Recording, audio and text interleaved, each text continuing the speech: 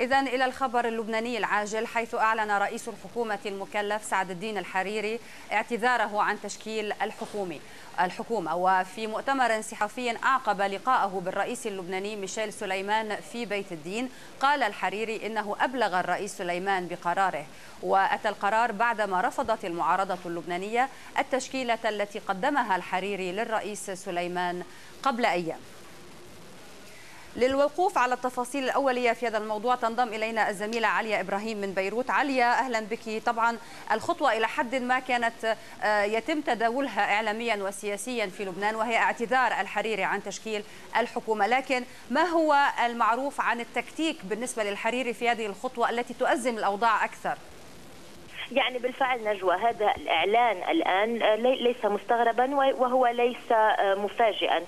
كان الحديدي قد أعلن في وقت سابق أنه إذا لم يكن هناك مفاوضات فعلية بالنسبة لهذه التشكيلة هو سيعتذر عن تشكيل الحكومة. أما سيحصل الآن ما هو متوقع أن يعيد رئيس الجمهورية الاستشارات النيابية.